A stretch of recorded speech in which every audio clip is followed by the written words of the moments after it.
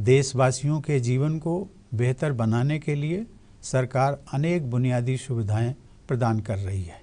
गरीब से गरीब लोगों के लिए घर बनाकर और हर घर में बिजली, शौचालय तथा पानी की सुविधा देकर सरकार बुनियादी ढांचे को मज़बूत बना रही है। हर देशवासी के घर में नल के ज़रिए पीने का पानी पहुँचाने, किसान भाई बहनों को सिंचाई के लिए पानी उपलब्ध कराने और देश में कहीं बाढ़ तो कहीं सूखे की समस्या का प्रभावी समाधान करने के लिए जल शक्ति के सदुपयोग पर विशेष बल दिया जा रहा है। जल सुरक्षा सुनिश्चित करने में केंद्र तथा राज्य सरकारों के साथ साथ हम सभी देशवासियों की महत्वपूर्ण भूमिका रहेगी। देश के सभी हिस्सों में संचार सुविधाएँ बढ़ाई जा रही हैं। इसके लिए गांव-गांव को सड़कों से जोड़ा जा रहा है। और बेहतर राजमार्ग बनाए जा रहे हैं।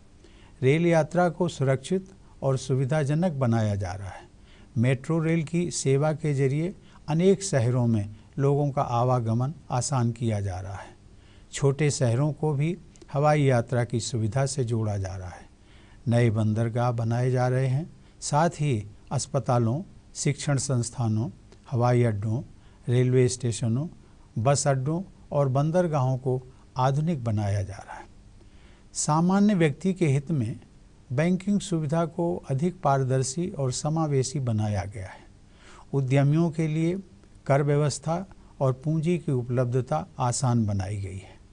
डिजिटल इंडिया के माध्यम से सरकार लोगों तक नागरिक सुविधाएँ तथा उपयोगी जानकारी पहुँचा रही है। सरकार बड़े पैमाने पर स्वास्थ्य सेवाएँ प्रदान कर रही है। दिव्यांगजनों को मुख्य धारा से जुड़ने के लिए उन्हें विशेष सुविधाएँ दी जा रही हैं। महिला सशक्तिकरण के लिए सरकार ने कानून और न्याय व्यवस्था में आवश्यक सुधार किए हैं। देशवासियों का जीवन आसान बनाने के लिए अनुपयोगी कानूनों को भी निरस्त किया गया है।